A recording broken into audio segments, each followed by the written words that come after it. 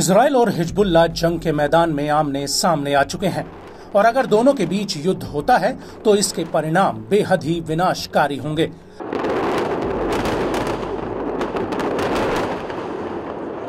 सिर्फ़ लेबनान में ही नहीं, बल्कि इसराइल में भी हिजबुल्ला के हमलों से भारी तबाही आ सकती है।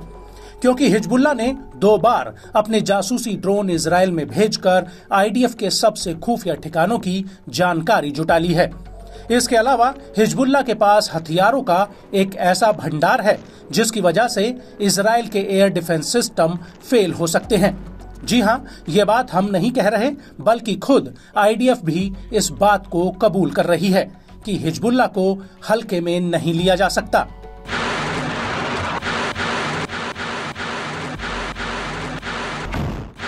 दरअसल इजरायली सेना में एयर डिफेंस के पूर्व commander, brigadier general Zvika Haimovich का कहना है कि हिजबुल्ला के पास रॉकेट हमलों की अंतहीन ताकत है, जिसे थकाया नहीं जा सकता।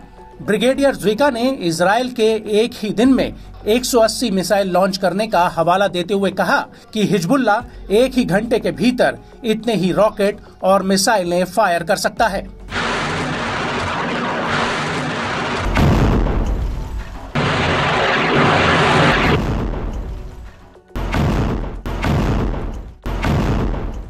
आईडीएफ के कमांडर का कहना है कि हिजबुल्ला ने अभी तक अपनी पूरी ताकत से इसराइल के ऊपर रॉकेट और मिसाइलें नहीं दागी हैं।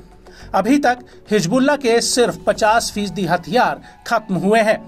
हिजबुल्ला के पास रॉकेट और मिसाइल लॉन्चिंग की ताकत असीमित है, जिसे हकीकत में खत्म नहीं किया जा सकता।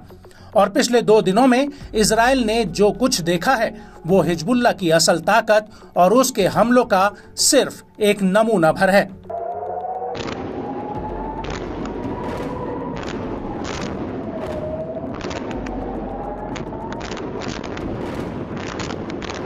आपको बता दें कि इससे पहले आईडीएफ के reserve major general Yaakov Amidror, जो रक्षा सलाहकार और इजरायली सेना के इंटेलिजेंस डायरेक्टोरेट के रिसर्च डिपार्टमेंट के हेड हैं, उन्होंने कहा था कि इसराइल हिजबुल्ला की ताकत को खत्म करने के करीब तक नहीं पहुँचा है।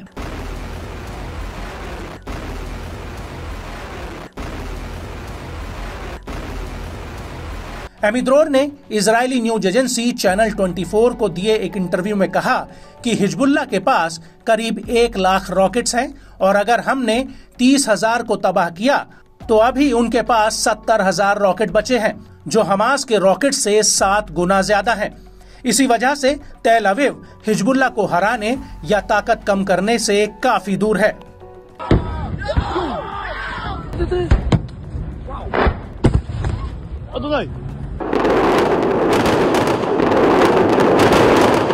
वहीं दूसरी तरफ़ इजरायली मीडिया का दावा है कि हिजबुल्ला के पास तेल अवीव पर हमला करने की ताकत तो है ही। साथ ही वो इसराइल के एयर स्पेस और बिजली घरों को अस्थिर कर सकता है। इसके अलावा वो आईडीएफ के बेस पर भी हमला कर सकता है। और अगर ऐसा होता है तो ये ठिकाने ध्वस्त हो जाएँगे और युद्ध शुरू हो जाएगा। हमने ऐसा पहले भी देखा है।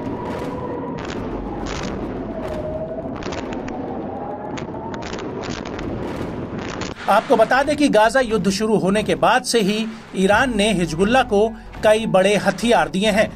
इसमें सबसे खतरनाक ईरानी एंटी टैंक मिसाइल आलमास है, जो बेहद ही सटीक हमला करती है। लेकिन हिजबुल्ला के जखीरे में ऐसे अनगिनत हथियार हैं, जो इसराइल में एक साथ तबाही मचा सकते हैं। इसको लेकर Center for Strategic and International Studies के आंकड़ों के मुताबिक हिजबुल्ला के पास करीब चालीस हज़ार से अस्सी हज़ार के बीच कम दूरी वाले अनगाइडेड रॉकेट्स हैं। उसके पास साठ हज़ार से अस्सी हज़ार के बीच लंबी दूरी के अनगाइडेड रॉकेट्स हैं। इसके अलावा हिजबुल्ला के पास बीस हज़ार से चालीस हज़ार के बीच कम दूरी वाली अनगाइडेड बैलिस्टिक मिसाइलें भी हैं। और तो और हिजबुल्ला के पास डेढ़ 150 से 400 के बीच में कम दूरी वाली गाइडेड बैलिस्टिक मिसाइलें हैं, जो तेल अविव तक पहुँच सकती हैं।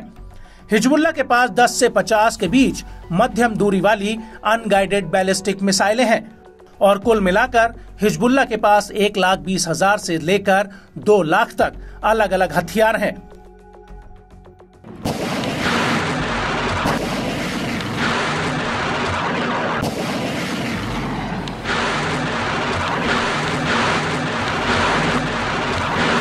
हालाँकि इजरायली सेना के पास भी हिजबुल्ला से कई गुना ज़्यादा मॉडर्न हथियार हैं। आईडीएफ के पास एफ़ थर्टी फाइव लड़ाकू जेट्स और एक मल्टी लेयर वाला एयर डिफेंस सिस्टम है, जो लेबनान में नागरिक ठिकानों में हाहाकार मचा सकता है। आसमान में इजरायली सेना काफ़ी ताकतवर है, वहीं हिजबुल्ला इस मामले में आईडीएफ के आसपास भी नज़र नहीं आता।